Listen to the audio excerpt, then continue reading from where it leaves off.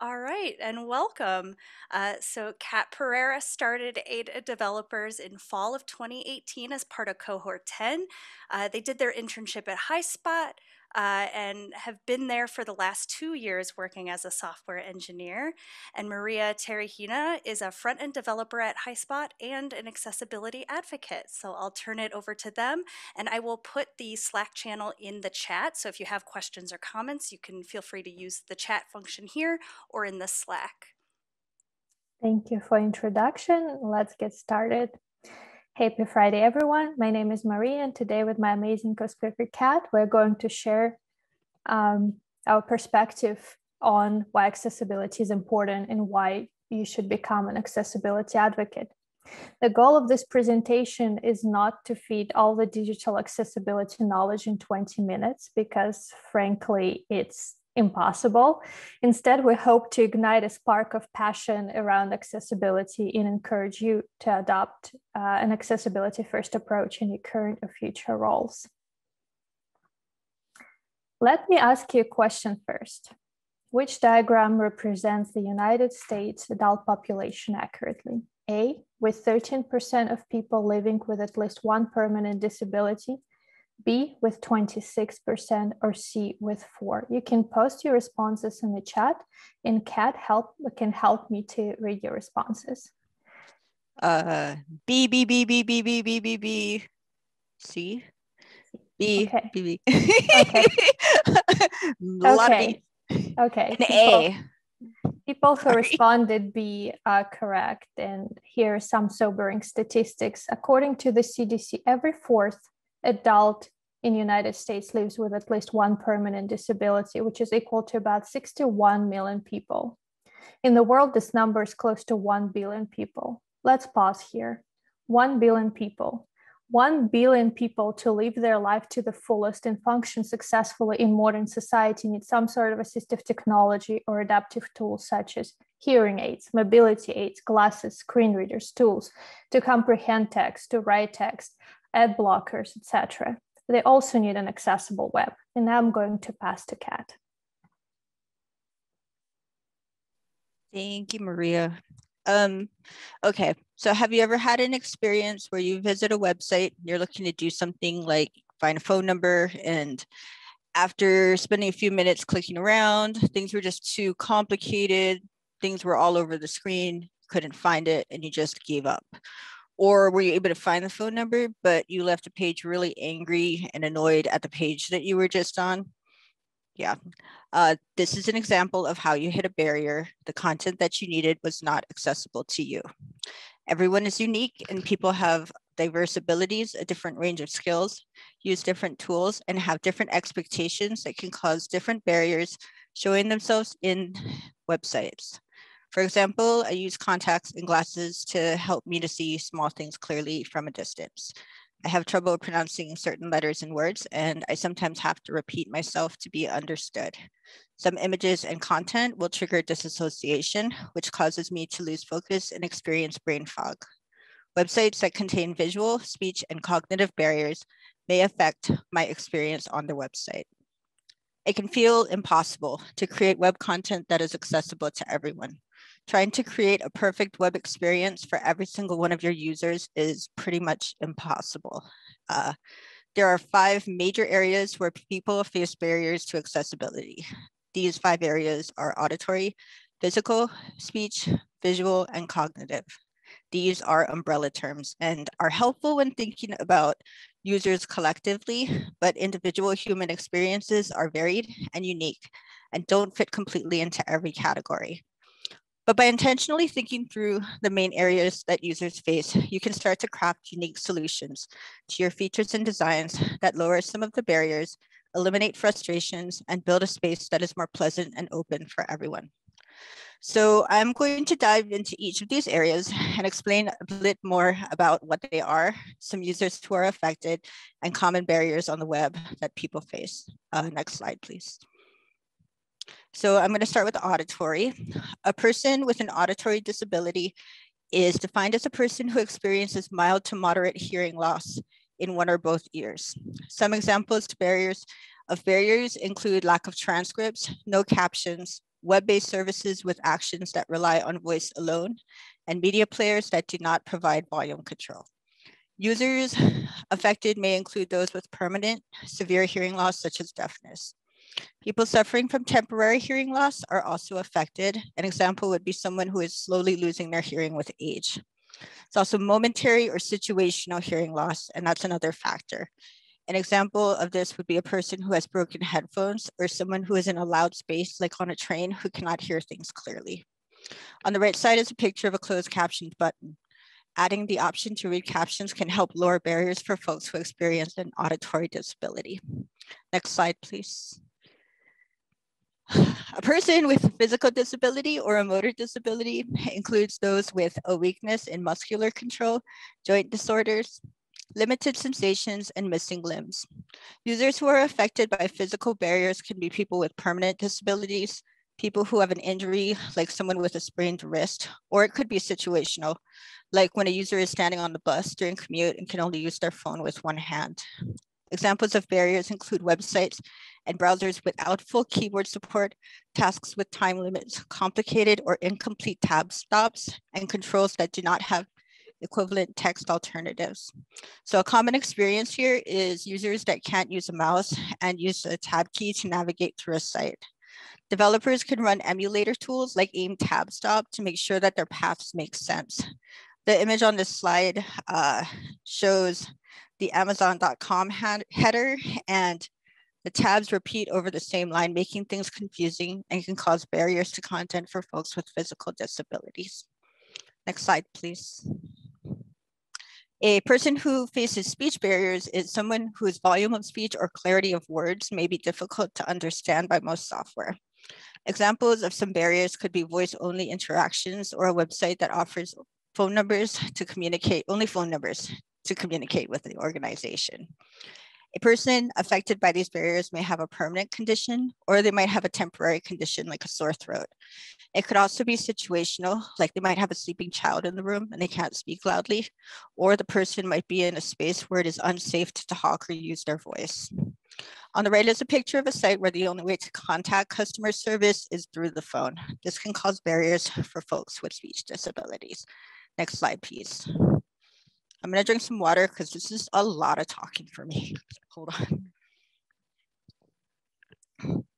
on. Okay. So a person who, oh, visual. A person who faces visual barriers on the web is someone who experiences a range of mild to severe vision loss in one or both eyes. A person may also have a reduced or lack of sensitivity to some colors or an increased sensitivity to bright colors. A person affected permanently by these barriers may have full vision loss, color blindness, or experience light sensitivity. An example of someone who is temporarily affected is someone who has an eye infection causing blurry vision. Um, and some examples of situational vision loss includes users with a cracked device screen, uh, someone who is sitting in a very bright space, making it difficult to see colors on a screen, or a person who's driving can't look at their phone uh, but needs to communicate with an app. Images, controls, or structural elements without text alternatives can create barriers for folks who rely on screen readers. On the right is a photograph of Katrina from cohort 10. By including her name, pronouns, and cohort number in the alt tag, this helps to make this site more accessible for people with visual disabilities. Next slide, please. Last but not least on the list are people who face cognitive learning and neurological barriers on the web. This may affect how well people hear, move, speak, or understand information. By creating web experiences with a focus to eliminate some of the four barriers I talked about, uh, a lot of these issues faced by these, or a lot of the issues faced by these individuals may be resolved. More unique barriers include complex navigation and layouts that are difficult to understand or use, long passages of text without illustrations to add context, and moving bouncing things that cannot be turned off.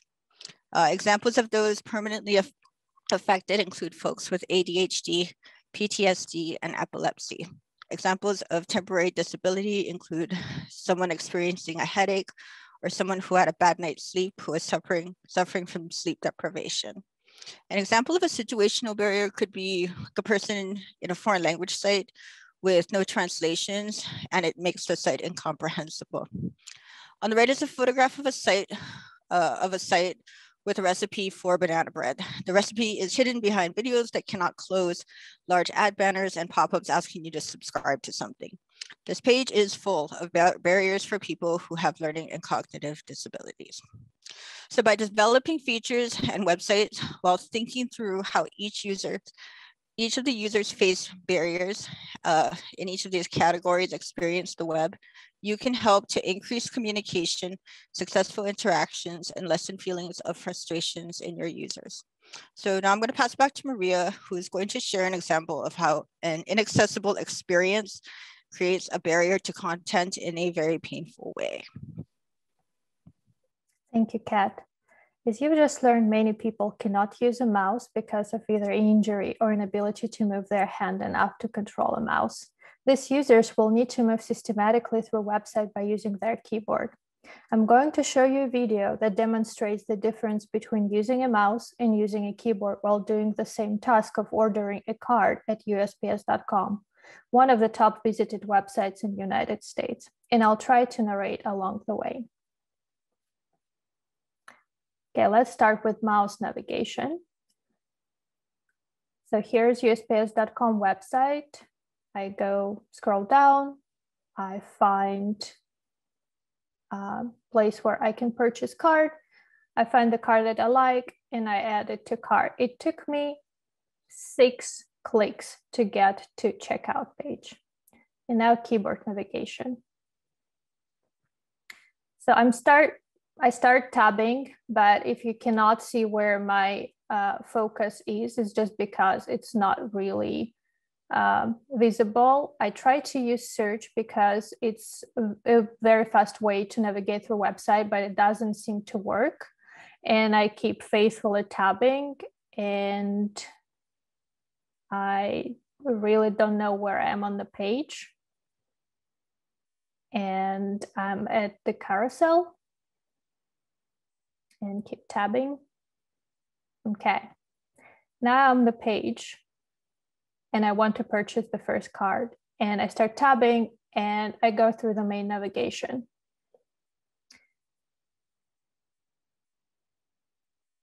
And now I presumably somewhere on the left side of a screen going through filters Okay, now I found the card that I want to purchase and I keep tabbing and again back to main navigation.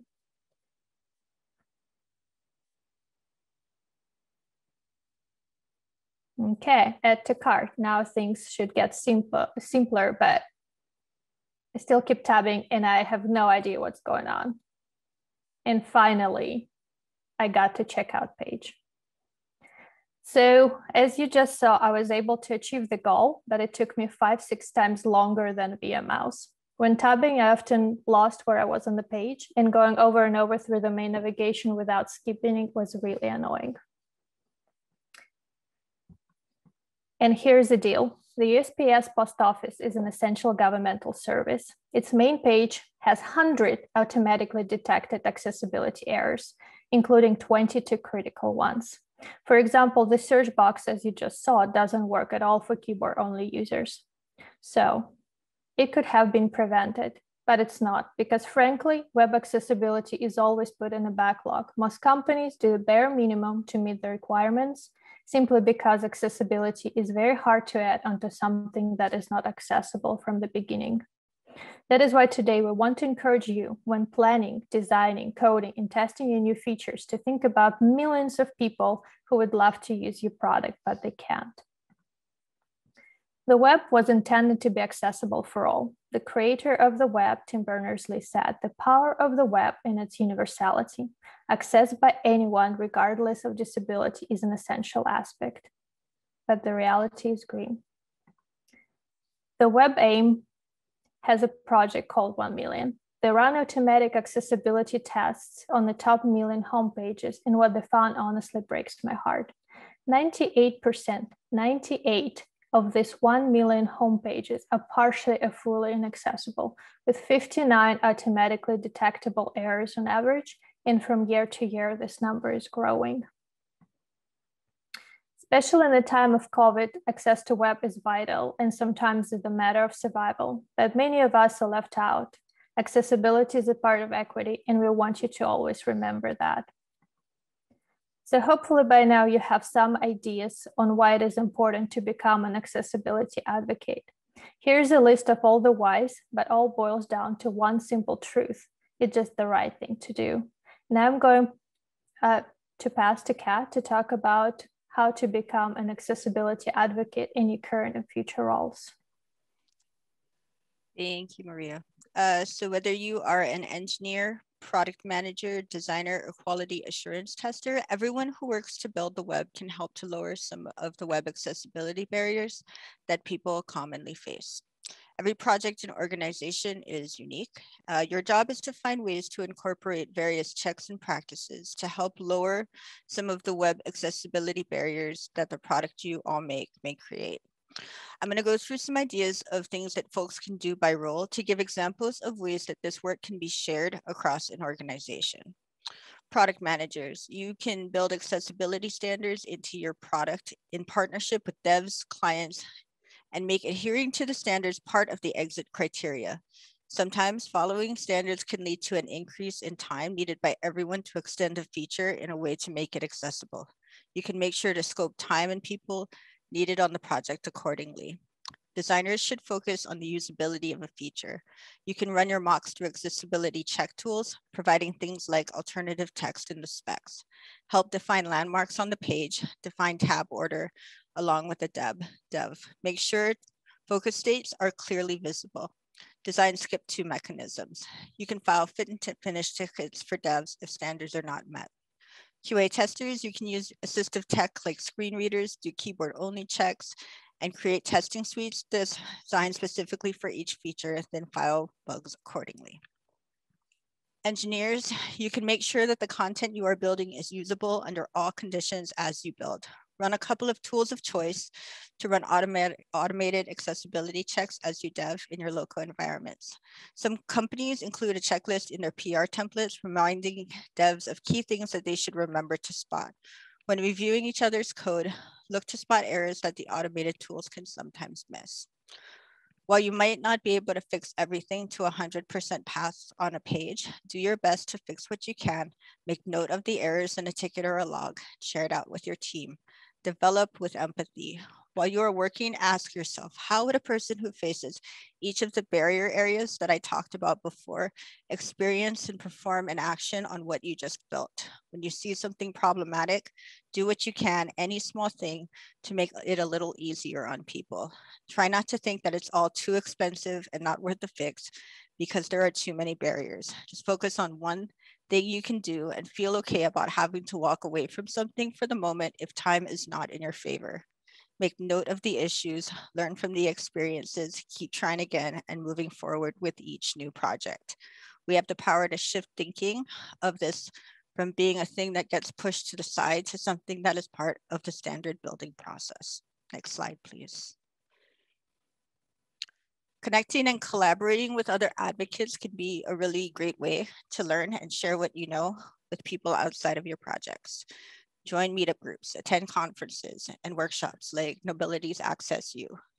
Start an accessibility Slack channel at work and share articles and events that you find interesting. Listen to podcasts, watch YouTube videos. Um, a thing that Maria and I did last year was we participated in Knowbility's Accessibility Internet Rally, where we were matched with a nonprofit organization and we worked together with our team to build them a new site with an accessibility first focus. I think that the most important thing that we can leave you all with is the desire to learn more and get excited to try to incorporate some of what we talked about into your everyday work. Uh, next slide, please. So please feel free to reach out to us on the AdieCon Slack channel. We have shared out a link to a GitHub repository filled with a variety of resources to help guide you all on your journey to learn more. Thank you all so much.